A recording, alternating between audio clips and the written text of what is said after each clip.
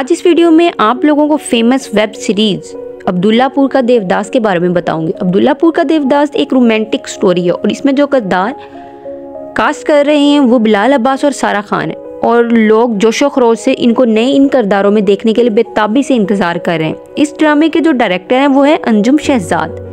इस ड्रामे में जो फ़खर का किरदार अदा करेंगे, वो बिलाल अब्बास होंगे और सारा खान जो होंगे, वो गुलबानो का किरदार अदा करेंगे। गुलबानो का जो किरदार अदा करेंगे, वो बहुत ज़्यादा खूबसूरत और साजिश वाला होगा।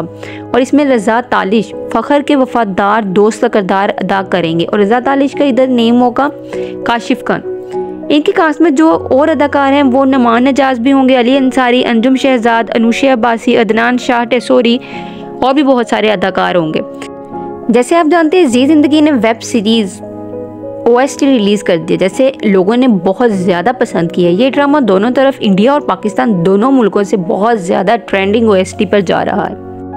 ये ड्रामा शदीद जज्बात और अब्दुल्लापुर के खूबसूरत गाँव में एक पुरजोश मोहब्बत की एक कहानी है। अब्दुल्लापुर का देवदास में लोग मोहब्बत धोखा दही और भी बहुत कुछ इसमें देखने को मिलेगा। इसमें काशिफ और गुलबानों की स्टोरी होगी और जैसा कि आप लोग जानते हैं, इश्क की बातें होती हैं अनजानी। एक महबूब, एक माशूका और एक रकीब की है ये अनदेखी कहानी।